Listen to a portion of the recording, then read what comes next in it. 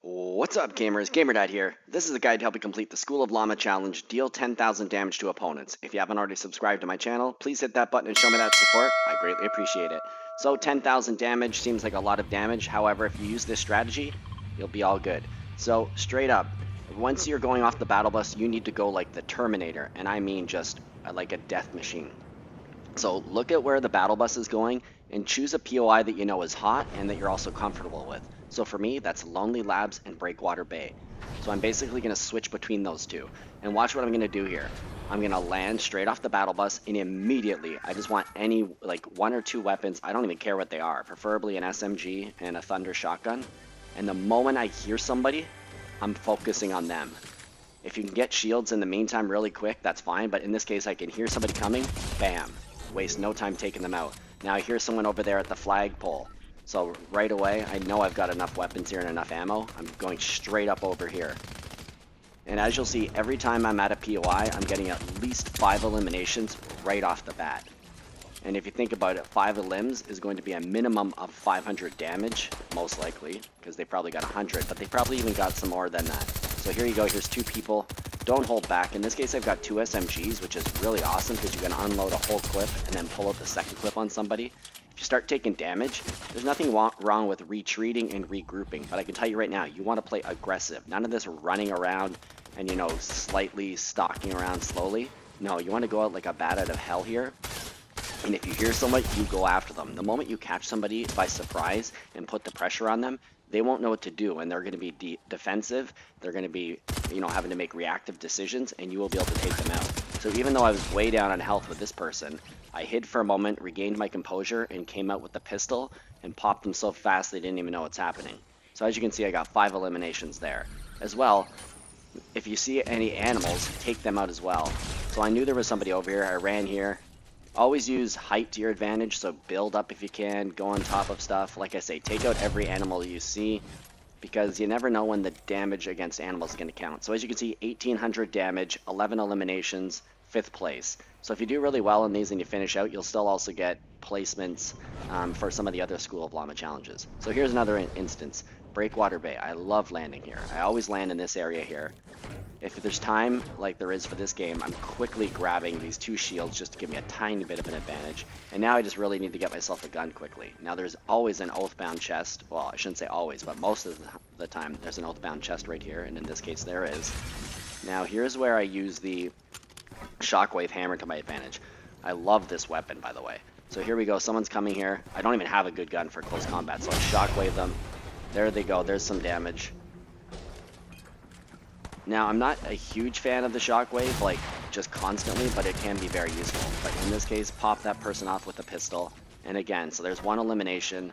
We're straight off the battle bus here, so I'm going to get a little bit more shields, then I'm going on a tear, and I'm going after anyone I see. Anybody I hear, it's open season on them.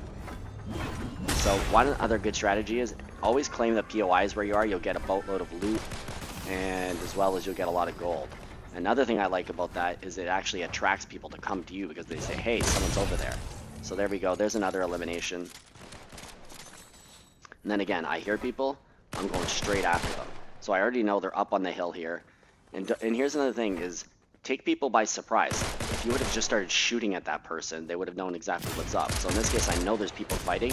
Pull up my DMR, use that long, the scope, two eliminations real quick. Those two people didn't have a chance.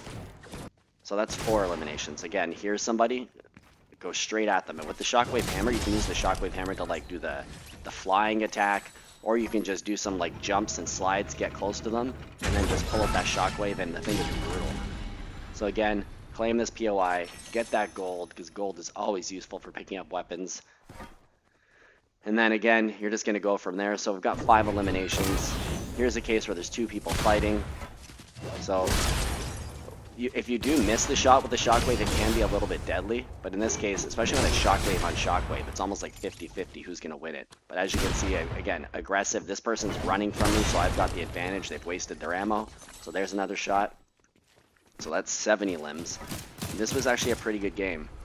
So here we go. We've got hired NPCs around here, and they're fair game as well. Here's the person who had hired that NPC one shot at him, and again, there's another NPC as well here. There's Oro. So we've got Mecha Team Leader, Oro. So I actually end up killing both of those NPCs eventually in this game, but I wanted to go after this person first. And again, I could have gone in a build battle here, but I knew that I had the advantage with the shockwave, and I really wanted this person to make the mistake. So I actually thought they were there. I tried to take them by surprise. But as you'll see in a second, I, I, I narrowly escaped that damn Kamehameha. Um, but yeah, here we go. So we got the shockwave. and I basically go after Oro, take out Oro.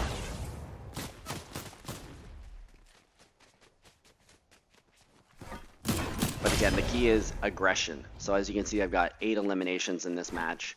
If you really want to make it quick and fast, you could basically just do the the drops, and you know once that initial dust settles, say you've got five, six, seven eliminations, you can technically just quit the game and fire it up again, and then just come back. So in this case, I've got 1,063 damage, nine eliminations. So as you imagine, I've got 2,800 so far in two matches.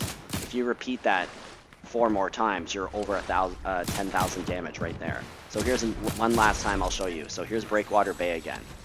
So again, get yourself a weapon and just go like the Terminator, as if you've got a contract on everyone's head that is in this game. And again, it's the aggression that's really going to help you. Fast play, so like this, these people are coming, just come up on them. They don't even know what the heck to expect at this point. Try to always reload, of course. You don't want to walk up on somebody and not be ready to fire. So there's three elims, super quick. And again, if I hear someone, I'm going after them. So I was going after somebody else, but I could tell somebody was closer, so bam, take them out.